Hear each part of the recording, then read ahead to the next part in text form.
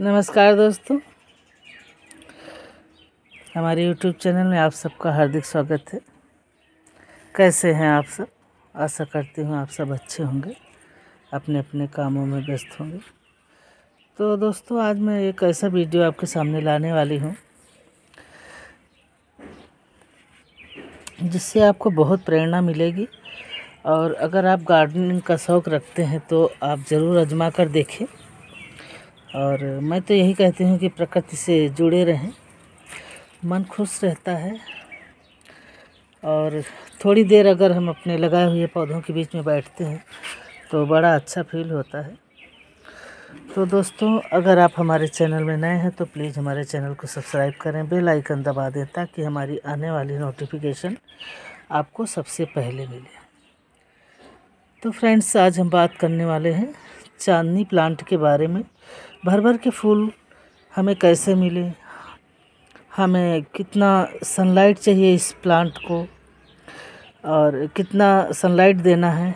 और कितना semi said area और कितनी जो है इसे फर्टिलाइज़र की आवश्यकता है? कौन से फर्टिलाइज़र की आवश्यकता है? और ज़्यादा फूल पाने के लिए हमें क्या करना चाहिए? तो आज सब हम इस वीडियो में बताने वाले हैं, बने रहें वीडियो के लास्ट तक।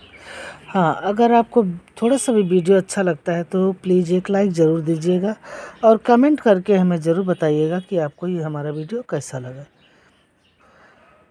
तो फ्रेंड्स, इस प्लांट को लगाए हुए हमें ज़्यादा टाइम नहीं हुआ है, कम से कम तीन महीने हुआ है और तीन महीने के अंदर देखिए इसकी ग्रोथ कितनी अच्छी और कितना काफ़ी बहुत ज़्यादा बुशी प्लांट हो गया है और हर एक ब्रांच में इतने गुच्छों में फूल आ रहे हैं, आप देख सकते हैं।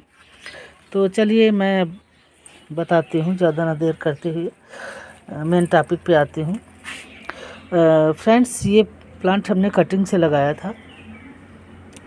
पहले इस प्लांट की टहनी छोटी सी, जैसे ये हमारी ब्रांच है।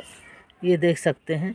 यहाँ से लेकर के इतनी मैंने जो प्लास्टिक की बोतल हो या कांच की बोतल हो, उसमें आप कट करके तिरछा, जैसे कलम होती थी पहले कलम से लिखा जाता था, उस तरह से आप कट करके बोतल में डाल दीजिए। ये वाला हिस्सा आप बिल्कुल ना रखें, ये, और डाल कर रख दीजिए। तीन हफ़्ते में आपकी इसमें अच्छी रूटिंग हो जाएगी।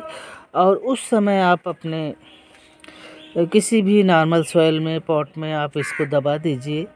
और जैसे ही आपका, जैसे जैसे आपका प्लांट ये अच्छी ग्रोथ पकड़ता है, उस समय आप फर्टिलाइज़र इस प्लांट को कोई भी फर्टिलाइज़र दे सकते हैं जिस समय आप पौधे को लगाते हैं।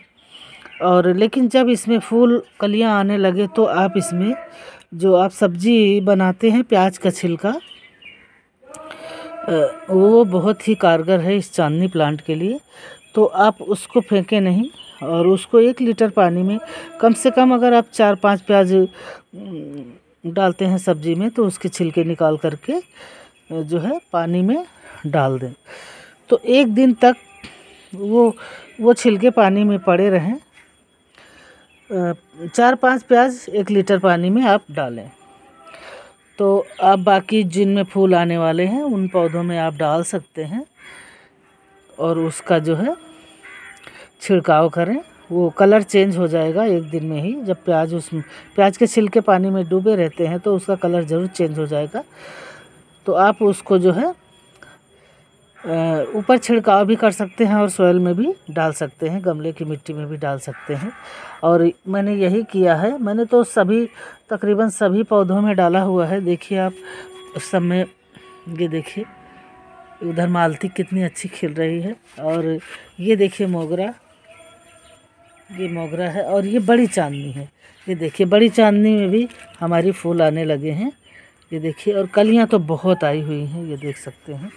तो मैंने दोस्तों यही फर्टिलाइज़र डाला है, और आप देख सकते हैं, देखिए, ये गुड़हल के प्लांट की टहनी इसमें मैंने ग्रुप में रखा हुआ है पौधे, ताकि धूप में ख़राब ना हो हमारे पौधे। आप देख सकते हैं। इधर ये देखिए, बेला में कितने फूल आ रहे हैं। मैंने ज़्यादातर प्याज का छिड़काव, प्याज के छिलकों का छिड़काव किया हुआ है। ये देखिए, बहुत आजकल बहुत फूल खिल रहे हैं और बहुत खुशबू देते हैं। तो फ्रेंड्स आप ये तरीका एक बार ज़रूर आजमा कर देखें। आपको ज़रूर अच्छा रिज़ल्ट मिलेगा। और क्योंकि मैं जिस चीज़ का एक्सपेरिमेंट करती हूँ, जो एक्सपेरिमेंट मैं करती हूँ, खुद वही आपके बीच में मैं शेयर करती हूँ। ये देखिए मैंने कितने फूल तोड़े हैं और अभी भी लगे हुए हैं, ये देख सकते हैं। और बहुत खुशबू आती है इन फूलों में। देखिए, बहुत कई कई प्लांट हैं इसके हमारे पास, जो बहुत खुशबू आती है, आप एक नज़र हमारे गार्डन पे भी डाल सकते हैं। देखिए, फूलों से भरा हुआ है हमारा गार्डन। तो यही तरीके अपनाएँ और अपने गार्डन में भर भर के फूल पाएँ। देखिए, ये जो है बहुत ही बड़ा बेला का फूल है, मोगरा जिसे बोलते हैं। ये छोटा वाला है।